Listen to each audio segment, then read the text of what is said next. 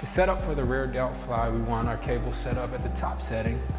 From there, we're gonna grab the ball that's attached to the hook of our cable.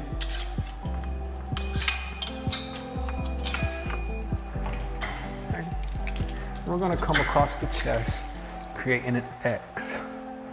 Okay, after we brace, we're pulling that band apart. Boom. Maintaining the hands nice and high right around ear level. Pulling in and out.